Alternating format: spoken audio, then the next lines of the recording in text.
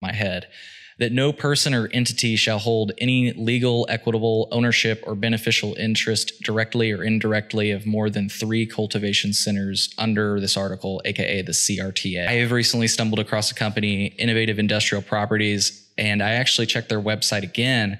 And they claim to own 100% of seven cultivation centers, which has changed since the last time I read. Based off of how the law reads and based off of that, like, how are they able to do that? And, you know, if that's something that they're doing, investigate it right? And that's how regulation works. You know, we, we get when there is a process for changes in ownership and, and, we do take a look at those to make sure that the law is being followed. You know, in cases where there are allegations that it's not, you know, of course that's something we're going to look into. It's something we take very seriously. It is a one of the more difficult things to track down because sometimes those structures are opaque. Sometimes, you know, tracking down who owns what is difficult. You know, and I know that my colleagues at DFPR are also working very diligently on this. Something we take very seriously. The execution of those laws is important, and making sure that those those limitations are.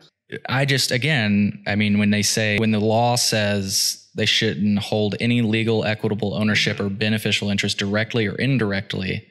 And there this is their website, and, mm-hmm. and Cres, Cresco and the other companies mm-hmm. that that work with this, they say that this is what they're doing they own the cultivation center, but Cresco is operating it. I'm just trying to figure out like how that's not in how that doesn't conflict with the law. You know, that seems like sure. clearly they're over the limit.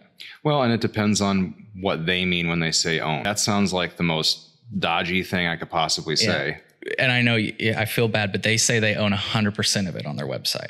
Right. And folks across any industry, not just cannabis, can be imprecise.